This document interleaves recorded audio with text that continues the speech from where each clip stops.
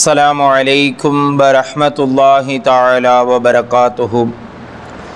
الحمد للہ رب العالمین ولاقبۃ للمتقین والصلاۃ والسلام علی سیدنا محمد وعلی آلہ وصحبہ اجمعین، اما بعد۔ رضینا باللہ ربا وبالاسلام دینا وبمحمد۔ محمد صلی اللہ علیہ وسلم نبی و ورسولا قالوا سبحانك لا علم لنا إلا ما علمتنا إنك أنت العليم الحكيم إن أريد إلا الإصلاح ما استطعت وما توفيقي إلا بالله عليه توكلت وإليه أنيب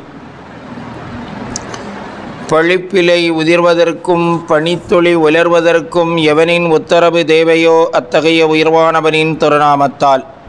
சலாத்தும் சலாமும் மக்கத்து மன்னர் மதீனத்து வேந்தர் சொர்க்கத்து நாதர் சுந்தர நபிகளார் ரசூலுல்லாஹி சல்லல்லாஹு அலிகி வசல்லம் அன்னவர்களின் மீது சலவாத்தை சாற்றி எகபர வாழ்வுக்காக இனியதம் மகபுதன்னை இன்முகத்தோடு தானமீந்த எம் பெற்றோர் ஆசிரியர் இருவர்களின் துவாபரக்கத்தினால் எனது வார்த்தை தொடக்கம்.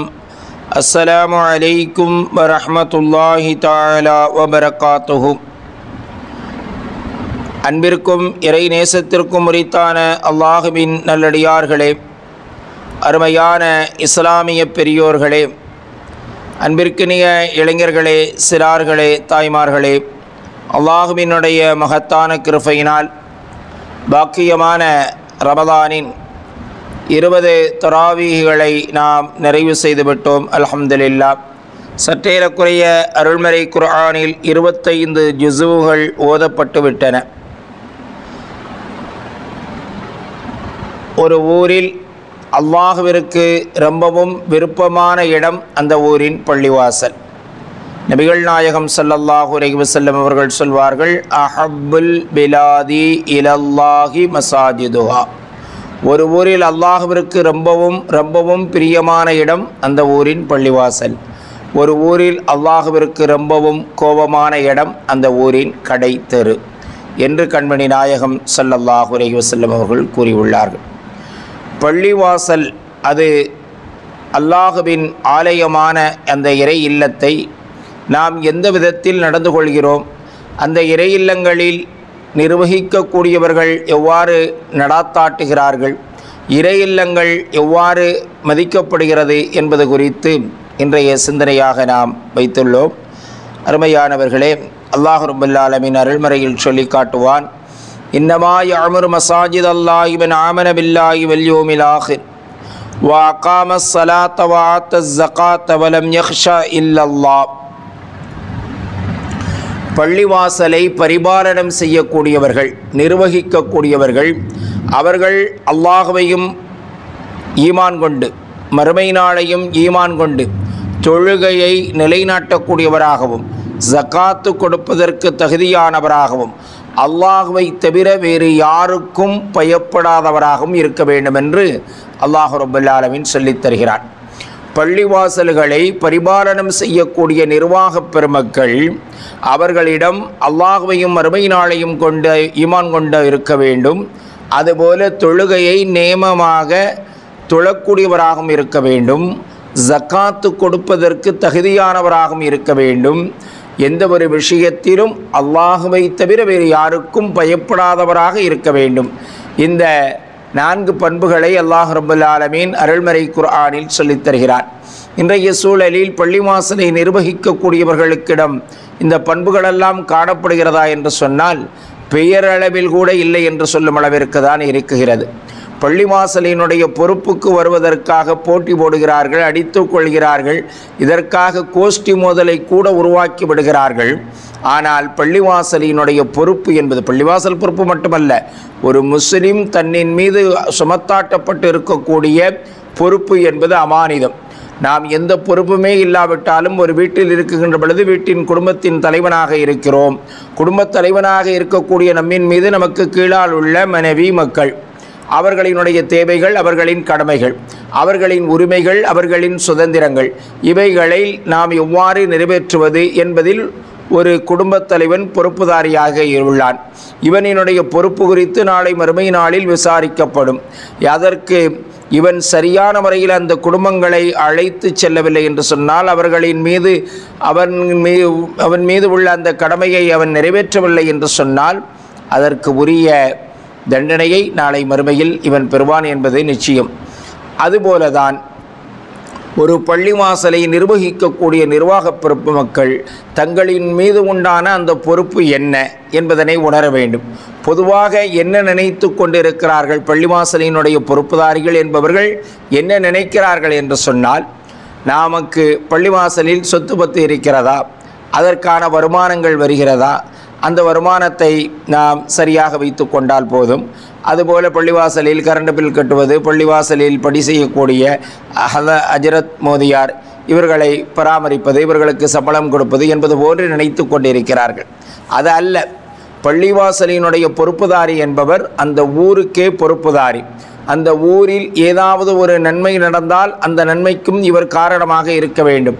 அந்த ஊரில் ஏதாவது ஒரு தீங்கு நடந்தால் அந்த தீங்கை இவர் தடுக்கக்கூடியவராக இருக்க வேண்டும். அப்படிப்பட்டவர் தான் ஒரு மஹல்லா என்று சொல்லுகின்ற பொழுது மஹல்லாவினுடைய கட்டமைப்பு என்பது என்கிற போது அந்த அந்த பகுதியில் உள்ள என்ன நடந்தாலும் அதற்கு இவர்கள் பொறுப்புதாரிகள். இன்னும் சொல்ல போனால் தலைவர் பள்ளிமாசலை நிர்வகிக்கக்கூடிய நிர்வாக பெருமக்கள் ஒரு மினி கவர்மெண்ட் ஒரு சிறிய அரசாங்கம். ஒரு அரசாங்கத்தினுடைய ஆளுமையில் இருக்கின்றவர்கள் எப்படி எல்லா விதமான அதிகாரங்களும் எல்லா விதமான தேவைகளையும் நிறைவேற்றுவதற்கு பொறுப்புதாரியாக இருக்கிறாரோ அதுபோல ஒரு ஜமாஅத்துக்கு கீழால் உள்ள அந்த ஜமாஅத்தினுடைய குடும்ப உறுப்பினர்கள் அவர்கள் இந்த நம்மளுடைய ஜமாத்தில் எத்தனை பேர்கள் இருக்கிறார்கள் எத்தனை பேர்கள் வசதியானவர்கள் இருக்கிறார்கள் எத்தனை பேர்கள் ஏழையாக இருக்கிறார்கள் எத்தனை பேர்கள் படித்தவர்களாக இருக்கிறார்கள் எத்தனை பேர்கள் படிக்காதவர்களாக இருக்கிறார்கள் என்பது என்கின்ற எல்லா விதமான விவரங்களையும் அறிந்து அதில் யாருக்கு யா எது தேவை யாரிடமிருந்து இந்த தேவையை எப்படி நிறைவேற்ற முடியும் என்கின்ற ஒரு சமயோஜித புத்தி உடையவராக ஒரு நிர்வாக பெருமக்கள் இருக்க வேண்டும் பொறுப்பதார்கள். அப்படி இருந்தால்தான் அந்த சமுதாயம் வீழ்ந்து போகாமல் தாழ்ந்து போகாமல் அவர்களை முன்னெடுத்து உயர்த்த உயர்ந்த வழியின் பக்கம் அழைத்து செல்ல முடியும். நமக்கென்ன நமக்கு மூணு வருஷம் பொறுப்பில் இருக்கிறோம் என்பதற்காக வேண்டி நாம் வந்தோம் இருந்தோம். நம்மை நாலு பேர்கள் மதித்தார்கள் நம்மை கௌரவப்படுத்தினார்கள் என்கின்ற போக்கில் ஒரு நிர்வாக பெருமக்கள் ஒரு ஜமானத்தினுடைய நிர்வாகம் செயல்படுமே என்று சொன்னால் அந்த ஊரில் உள்ள ஏனைய மக்களினுடைய வாழ்வாதாரங்கள் கல்வி நிலைகள் இன்னும் பிற சூழல்கள் எல்லாமும் கேள்விக்குறியாகிவிடும்.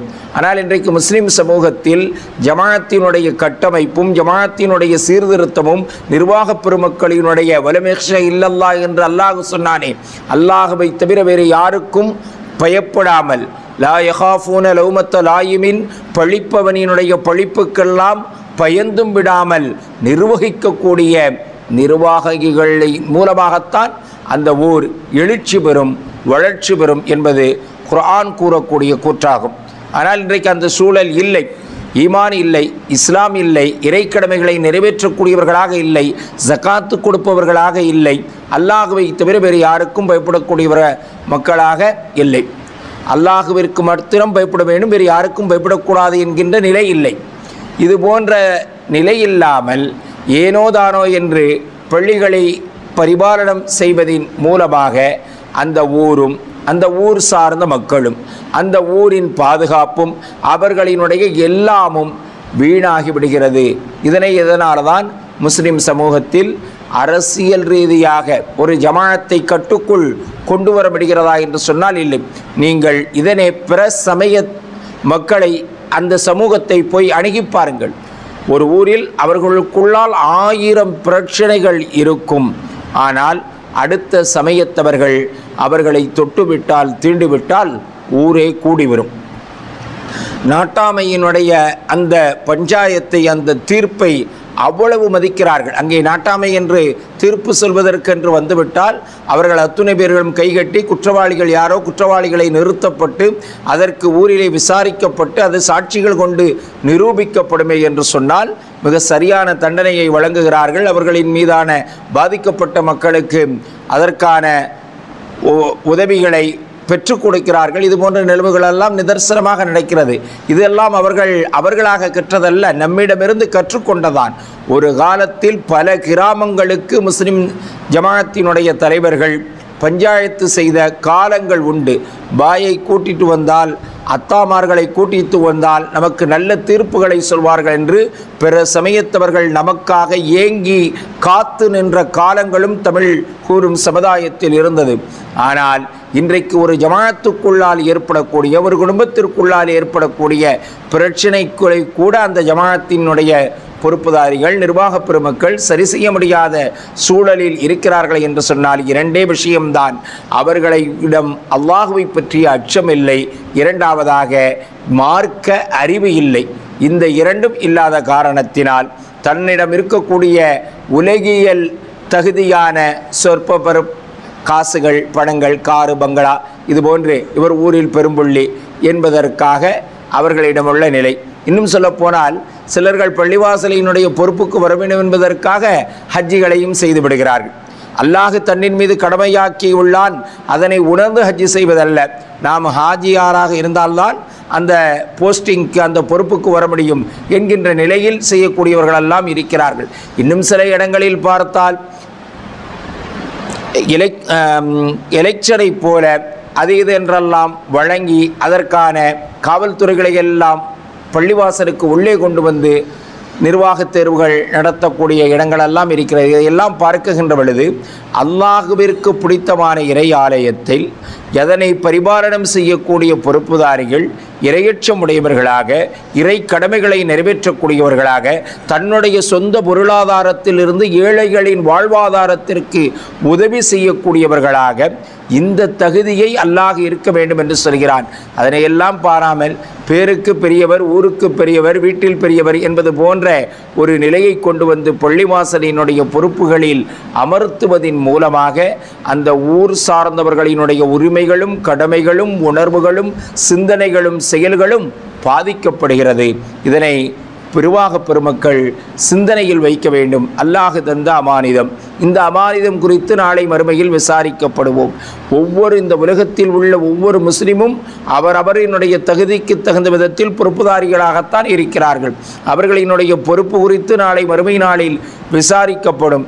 அந்த நேரத்தில் நம்முடைய அமானிதங்கள் நமக்கு தந்த அமானிதங்களை நாம் வீணடித்து விடுவோமே என்று சொன்னால் நாளை அல்லாஹுவின் சன்னிதானத்தில் எதை வைத்து நாம் என்ன சொல்லப் போகிறோம் என்கின்ற உணர்வு நமக்கு வர வேண்டும். அந்த உணர்வில்லாமல் நாம் வாழ்வோமே என்று சொன்னால் நாளை அல்லாஹுவிடம் மிகுந்த மிக மோசமான கேவலமான இழிவான தண்டனைகளை லட்சோப லட்ச மக்களுக்கு முன்னால் பெற வேண்டிய நிலை ஏற்படும். அல்லாஹு தந்த அமானிதத்தை யார் சரியாக நிறைவேற்றுகிறார்களோ யார் சரியாக பாதுகாக்கிறார்களோ அவர்கள் நாளை எல்லாவிடத்தில் மிகுந்த வெகுமதிகளையும் மிக மிகச்சிறந்த பரிசுகளையும் அல்லாஹுவினால் தயாரிக்கப்பட்ட உயர்ந்த சொர்க்கத்தையும் அடைவார்கள் என்பதில் சந்தேகமில்லை. பள்ளிவாசல் என்பது இவ்வளவு தூய்மையான இடம். அங்கு கண்ணியமாக நடக்கக்கூடிய நிலைப்பாடுகள் இருக்கிறதா? பள்ளிவாசலுக்கு வரக்கூடிய முஸ்லிம்கள் ஓரணியில் வகுத்து சரியான முறையில் அந்த இமாம்களை பின்பற்றி துளக்கூடிய சூழல் இருக்கிறதா? அல்லது பள்ளிவாசல்களில் ஜும்மா அல்லது அதிகாலை நேரங்களில் தராவிகுக்கு பின்னால் பேசக்கூடிய அந்த பயான்களை மிக அமைதியான முறையிலிருந்து கேட்கிறார்களா? இல்லையே. நாம் தான் எல்லாவற்றுக்கும் ஒரு சீரணி வைத்து கொண்டிருக்கிறோம். அந்த சீரணியிலேயே பல பிரச்சனைகள் வருகிறதே தவிர பள்ளியினுடைய நோக்கம் என்ன? ஏன் வருகிறோம்? எதற்கு வருகிறோம்? இங்கு வருவதனுடைய நோக்கம் என்ன? இந்த நோக்கத்தின் மூலா மூலமாக நம்முடைய வாழ்க்கையில் என்ன மாற்றங்கள் ஏற்பட்டு இருக்கிறது இப்பொழுது என்ன ஏற்பட வேண்டும்? என்கின்ற சிந்தனைக்கெல்லாம் அப்பாற்பட்டு இன்னமும் ஒரு பழமைவாதத்தில் தான் இஸ்லாமிய சகோதரர்கள் இருக்கிறார்கள். இது மிகுந்த வருத்த மாத்திரம் மட்டுமல்ல அடுத்த தலைமுறைகள் என்ன செய்வதென்று தெரியாமல் ஆகிவிடும். உதாரணத்திற்கு ஒன்றை சொல்கிறேன். நாம் வாழும் இந்த தமிழகத்தில் முஸ்லீம் லீக் என்பதுதான் ஆரம்பமாக அரசியல் கட்சியாக இருந்தது. இது எல்லோரும் அறிந்த விஷயம்தான். கண்ணியத்திற்குரிய காயிதே வில்லத் இஸ்மாயில் சாஹிப் இருந்த காலத்தில் தமிழகத்தில் காங்கிரஸ் ஆட்சி செய்த அந்த காலகட்டத்தில் சற்றேறக்குறைய பதினைந்துக்கும் மேற்பட்ட இஸ்லாமி முஸ்லிம்களுடைய சட்டமன்ற உறுப்பினர்கள் இருந்தார்கள். எதிர்க்கட்சியாக தமிழக சட்டசபையில் வகுத்த இந்த முஸ்லீம் லீக் இன்றைக்கு ஒரு சீட்டிற்காக கேவலம் ஒரே ஒற்றை சீட்டுக்காக அடுத்தவர்களிடம் தொங்கிக் கொண்டு அவர்களுக்கு அடிபணிந்து கொண்டு ஆறாவது கடமை ஏழாவது கடமை என்று பேசிக்கொண்டிருக்கிறார்கள் அருமையானவர்களே இதனை நான் சரியாக ஞாபகம் செய்கிறேன். ஆயிரத்தி தொள்ளாயிரத்தி எழுபதுகளில் எழுபதுகளில் தமிழகத்தில் ஒரு பிரிவு லேசாக முஸ்லிமை தட்டி பார்த்தார்கள். அப்படி தட்டி பார்த்த திராவிட கட்சியில் கண்ணியத்திற்குரிய காகிதமில்லத் இஸ்மாயில் சாஹிப் தன்னுடைய ஆக்ரோஷமான வார்த்தையை அவருக்கு முன்னால் கர்ஜித்து உங்களுக்கு நாங்கள் அடிபணி மா மாட்டோம். முஸ்லீம்கள் என்று சொன்னால் நீங்கள் முட்டாள்கள் மூளையில்லாதவர்கள் என்பதாக நீங்கள் நினைக்க வேண்டாம். உங்களுக்கு எதிராக நாங்கள் களம் கண்டு சட்டசபையில் அமர்வோம் என்பதனை மிக அறிவித்ததோடு மட்டுமல்லாமல் தமிழகத்தில் ராமநாதபுரத்தில் தமிழகம் தழுவிய முஸ்லிம்களை ஒருங்கிணைத்து நம்மை உதாசீனப்படுத்தக்கூடிய ஒரு சூழலுக்கு வந்துவிட்டார்கள். ஆகையினால் நாம் உயிர்த்தெழ வேண்டிய காலகட்டம் உங்களினுடைய சிந்தனை நம்முடைய தாய் சபையின் மீது இருக்க வேண்டும் என்று பேசிய ஒரு சில மணித்துளிகள் பேசிய அந்த பேச்சுக்கு ஒட்டுமொத்த தமிழகமும் கட்டுப்பட்ட பொழுது திராவிட கட்சி இறங்கி வந்து கண்ணியத்திற்குரிய காகிதமில்லத் இஸ்மாயில் சாஹிப்பிடம் மன்னிப்பு கேட்டது. என்ன காரணம்? அரசியலில் நேர்மை பொது வாழ்வில் தூய்மை யாருக்கும் எவரிடத்திலும் எதற்காக வேண்டியும் கை நீட்டக்கூடிய நிலை இல்லை. அல்லாஹுவிற்காக அல்லாஹுவின் ரசூலிற்காக மார்க்க ஞானத்தை ஓரளவு கற்றிருந்த உலகியல் சார்ந்த கல்வியையும் கற்றிருந்த கண்ணியத்திற்குரிய இஸ்மாயில் சாஹிப் அதனுடைய விஷயத்தில் மிக தெளிவாக இருந்தார். உலக தமிழகம் அல்ல இந்திய வரலாற்றில் அல்ல உலக வரலாற்றிலேயே ஒரு தொகுதிக்கு பக்கம் ஓட்டு கேட்டு போவாமல் அந்த தொகுதியில் ஐந்து முறை வெற்றி பெற்ற ஒரு தலைவர் என்று சொன்னால் அது காகிதமில்லத் இஸ்மாயில் சாஹிப்பை தவிர வேறு எவரும் கிடையாது. ஏன் என்று சொன்னால் தமிழ்நாட்டில் இருக்கவில்லை கேரளாவில் மஞ்சேரி என்கின்ற ஒரு தொகுதியில் ஐந்து முறை வெற்றி பெற்றிருக்கிறார். எலெக்ஷன் அறிவித்த அந்த நாட்களில் அந்த தொகுதிக்கு போய் நான் இந்த தொகுதியில் இருக்கிறேன் எனக்கு ஓட்டு போடுங்கள் என்று அவர் கேட்டதில்லை. வெற்றி பெற்றதற்கு பின்னால் நன்றி கூறுவதும் அந்த மக்களினுடைய கடமைகள் உரிமைகள் உணர்வுகள் என்னவோ அதனை சட்டமன்றத்திலும் பாராளுமன்றத்திலும் பேசும் தகுதியை பெற்றிருந்தாரே தவிர அந்த மக்களிடம் எனக்காக ஓட்டு போடுங்கள் என்று தன்னுடைய வாழ்க்கையில் ஐந்து முறை நின்றும் ஒரு முறை கூட ஓட்டு கேட்டதில்லை. அப்படி என்று சொன்னால் அதை இறை அச்சம் இருந்தது. நாம் எதற்காக இந்த பொறுப்பிற்கு வந்திருக்கிறோம் என்கின்ற பொறுப்புணர்வு இருந்தது. பொறுப்புள்ள தலைவராக இருந்த காரணத்தினால் இந்த தாய்மொழியை விட வேற்று மொழி பேசக்கூடிய ஒரு மாநிலத்தில் வெற்றி பெற்றிருப்பார் என்று சொன்னால் அவரினுடைய தக்குவாவை அவரினுடைய இரையச்சத்தை அவரினுடைய அரசியல் ஆளுமையை அவரினுடைய பொறுப்புணர்வை நாம் சிந்திக்க வேண்டும். ஆனால் இன்றைக்கு அந்த நிலை அரசியலில் நம்மால் நிலைப்படுத்த முடிகிறதா இல்லை. இதே முஸ்லீம் லீக் கண்ணியத்திற்குரிய காகிதம் இல்ல. இஸ்மாயில் சாஹிப்பிற்கு பின்னால் இரண்டு பிரிவுகளாக பிரிந்தார்கள். சமது சாஹிப் லத்தீப் சாஹிப் என்று இவருக்கென்று ஒரு கூட்டம் அவருக்கென்று ஒரு கூட்டம். இரண்டு பேர்களினுடைய அந்த நோக்கம் இந்த சமுதாயத்திற்காக இருந்ததா? இல்லை. தனக்கு நாலு பேர்கள் இருக்கிறார் என்கின்ற ரீதியில் அவர்கள் வாழ்ந்தார். இவர் தனக்கு நாலு பேர் இருக்கிறார் என்கின்ற ரீதியில் வாழ்ந்தார். இதனினுடைய விளைவு சமுதாயம் சமாதியானது. அதை தவிர நிச்சயமாக சத்தியமாக வேறு பொருள் இல்லை. அவர்கள் அடுத்த தலைமுறைகளை உருவாக்கவில்லை. அடுத்த இளைய சமுதாயத்திற்கு இந்த இறையாண்மை இந்தியாவினுடைய இறையாண்மை கொள்கையோ இறையச்சத்தையோ அல்லாஹு ரசூலை பற்றிய விழிப்புணர்வையோ அவர்கள் அரசியல் ரீதியாக கொண்டு செலுத்தாததினுடைய விளைவே அதற்கு பின்னால் சமுதாயத்தில் ஒவ்வொரு இயக்கங்கள் அமைப்புகள் உருவாகிறது.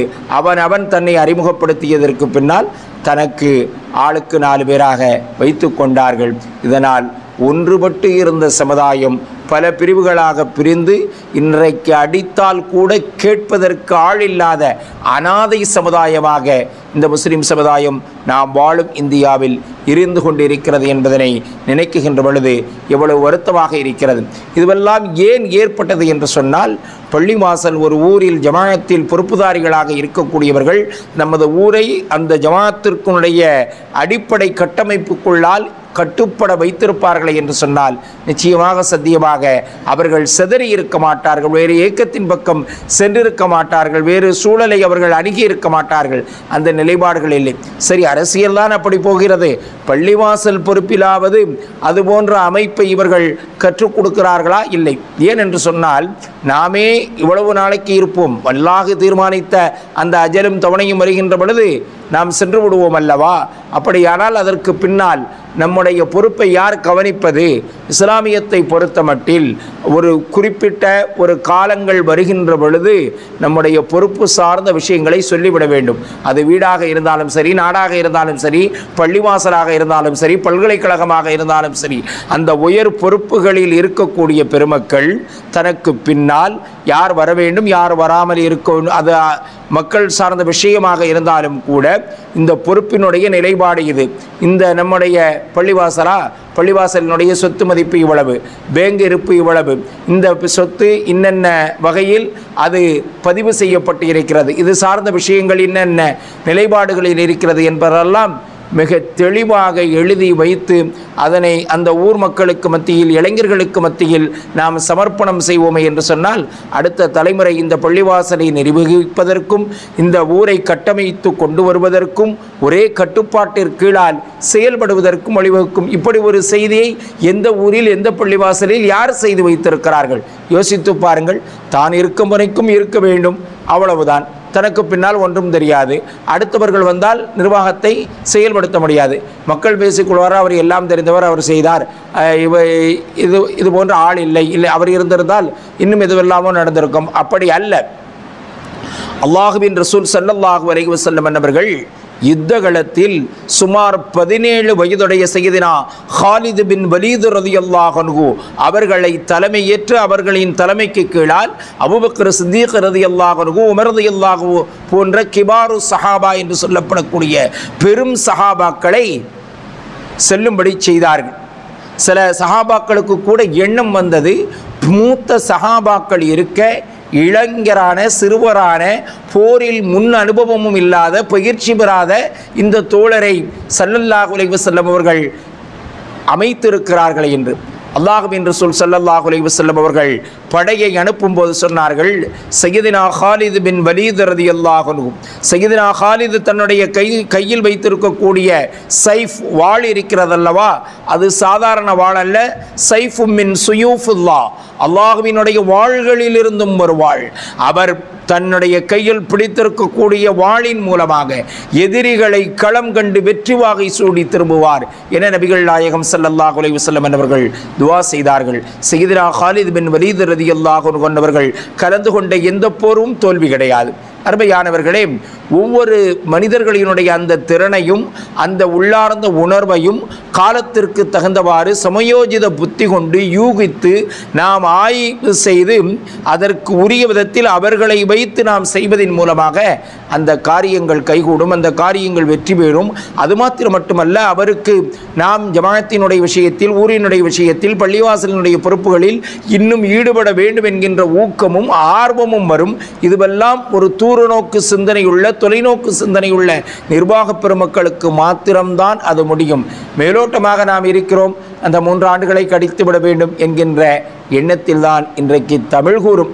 தமிழகத்தை பொறுத்தமட்டில் பள்ளிவாசலினுடைய பொறுப்புதாரிகள் இருக்கிறார்கள். இதனின் மூலமாக அந்த சமுதாயம் பின்தங்கிய நிலையிலேயே இருக்கும். எந்த ஜமாத்து தலைவரிடமாவது கேட்டு பாருங்கள். உங்கள் ஊரில் எத்துணை பட்டதாரிகள் இருக்கிறார்கள். எத்துணை அரசியல் விமர்சகர்கள் அல்லது அரசியல்வாதிகள் இருக்கிறார்கள் என்றால் அதெல்லாம் சொல்ல முடியாது.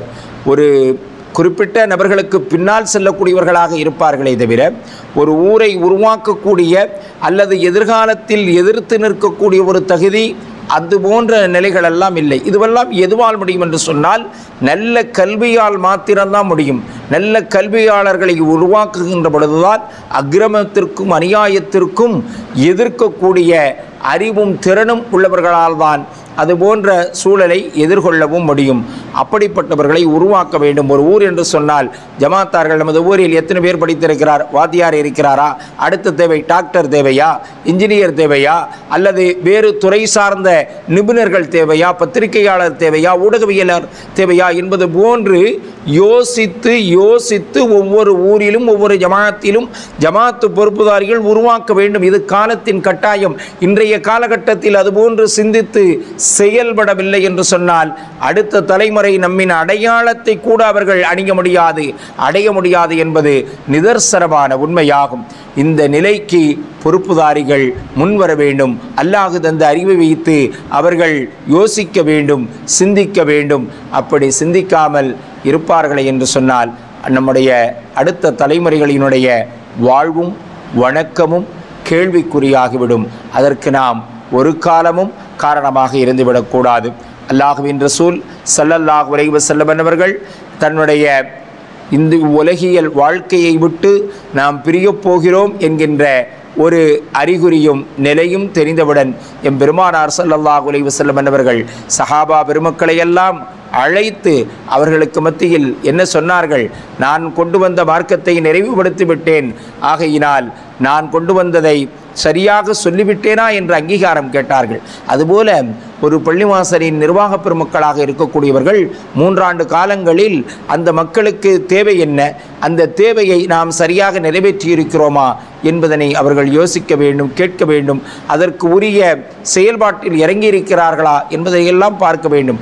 எம்பெருமானார் சல்லல்லா உலகம் செல்லும் அவர்கள் கேட்ட பொழுது லட்சத்தி சுற்றும் சஹாபிகளும் சொன்னார்கள் கது அத்தை தலமானா வபல்லகத்தர் ரிசாலா.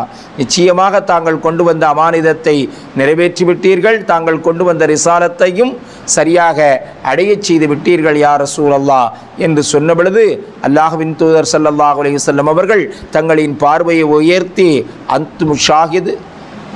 அல்லாகவே நீயும் இதற்கு சாட்சி இவர்களும் சாட்சி என்பதாக எம் பெருமானார் அலையுசல்லம் என்பவர்கள் கூறினார்கள் என்று பார்க்கிறோம். நுபுவத் என்பது மாத்திரம் மட்டுமல்ல அவைகளின் மூலமாக முஸ்லிம் சமூகத்தில் ஒவ்வொருவருக்கும் இருக்குகின்ற பொறுப்பை அவர்கள் உணர்ந்து அது சார்ந்த விஷயத்தை நிறைவேற்றுவது கடமையாகும். அந்த கடமையில் மடமை செய்வீர்களே என்று சொன்னால் நிச்சயமாக சத்தியமாக நாளை அல்லாஹுவிடத்தில் பதில் சொல்லியே ஆக வேண்டும். அந்த நாள் மிக கடுமையாக இருக்கும். அல்லாஹுவின் பிடியும் மிக கடுமையாக இருக்கும்.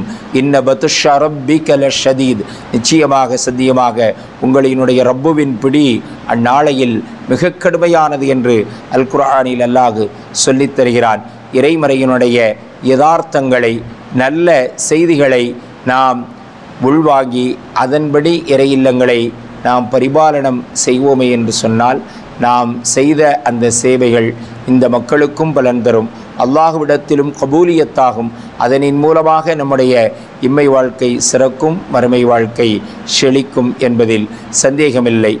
இறையில்ல பணியாளர்களும் இறையில்லத்தை பரிபாலனம் செய்யக்கூடிய நிர்வாகப் பெருமக்களும் இரண்டர கலந்து சமுதாயத்தின் தேவை எது என்பதனை தீர்க்கமாக ஆலோசித்து செயல்பட வேண்டிய காலத்தின் அவசியத்தில் இருக்கிறோம். அல்லாஹ் ரபுல் இறை இல்லங்களில் பணி செய்யக்கூடிய அந்த பணியாளர்கள் அல்லாஹு ரசூலினுடைய ஷரியத்தை சட்டத்தை சன்மார்க்கத்தை சொல்வதற்கு மிக தயாராக இருக்கிறார்கள். அதனை அவர்களுக்கு ஒத்துழைத்து உதவி செய்து அதனை நிறைவு செய்யக்கூடிய விஷயத்தில் நிர்வாகப் பெருமக்கள் கவனக்குறைவாக இருக்கிறார்கள் என்பதுதான் நிதர்சனமான உண்மையாகும். அல்லாஹும் அல்லாஹுவினுடைய ரசூலும் எந்த உண்மைகளை கூறுவதின் மூலமாக சமுதாயம் நன்மை பெறும் என்று சொல்லியிருக்கிறார்களோ அத்தகைய சுத்த சத்திய வழியில் இறையில்லத்தை நிர்வகிப்பவர்கள் நடந்து கொள்ள வேண்டும். எல்லாம் அல்லா அல்லாஹ் ரபுல்லாலமீன் அத்தகைய அருள் பாக்கியத்தை நிர்வாகப் பெருமக்களுக்கு வழங்கி அருள் புரிவானாக. அதுபோ அல்லாஹ் ரபுல்லாலமீன் நம்மையும் நம்முடைய சந்ததிகளையும் அல்லாஹ் ரசூலினுடைய சன்மார்க்க நெறிப்படியும் முறைப்படியும் இறையில்லங்களில் வந்து போகவும் இறையில்லத்தை வணக்கத்தால் அலங்கரிக்கவும் இறையில்லத்தை இபாதத்துகளால் நிறைவு செய்யவும் நர்பாக்கியத்தையும் அல்லாஹ் நமக்கு வழங்கியருள் விரிவானாக அல்லாஹ் ரபுல்லாலமீன் நம் அனைவர்களையும் நன்மையின் பக்கம் சேர்த்து வைப்பானாக நல்லடியார் குழுவோடு சேர்த்து வைப்பானாக உண்மையின் உறவினிலே உயர வைப்பானாக உள்ளத்தில் ஈமானை ஒளிர வைப்பானாக கண்ணான் அவன் காவல் தந்து வைப்பானாக கலைமறையின் நயத்திலேயே வாழச் செய்வானாக. அல்லாஹ் ரபுல்லாலமீன் நம் அனைவர்களின் அனைத்து விதமான ஹலாலான ஹாஜத்துகளை நியத்துகளை நாட்டங்களை நிறைவேற்றி தந்தரல் பிரிவானாக நம் அத்துணை பேர்களுக்கும் ஆரோக்கியத்துடன் கூடிய ஆயுளை நீட்டி தந்தரல் பிரிவானாக நம்முடைய உடலில் உயிர் ஒட்டி கொண்டிருக்கும் காலமெல்லாம் இறைவனுக்கு சஜிதான் செய்யக்கூடிய பாக்கியத்தை அல்லாஹ் ரபுல் ஆலமீன் நசீபாக்கி தந்தரல் புரிவானாக. நம்முடைய வாழ்க்கையின் பெரும் பகுதியை இறையில்லத்தோடு தொடர்பு வைத்து நாளை மறுமை நாள் ஆகிரத்தில் அல்லாஹுவின் சன்னிதானத்தில் நியாய தீர்ப்பு நாளில் மகிஷர் பெருவெளியில் அல்லாஹுவினுடைய அரிசனும் நிழலில் தங்குகின்ற அருள் பாக்கியத்தை அல்லாஹ் நம் அத்துணை பேர்களுக்கும் வழங்கி அருள் புரிவானாக. வாஹிரு தழ்வாகுமன் அஹமதுல்லாஹி ரபில் ஆலமீன். அஸ்ஸலாமு அலைக்கும் வரமத்துல்லாஹி தாலா வபரகாத்து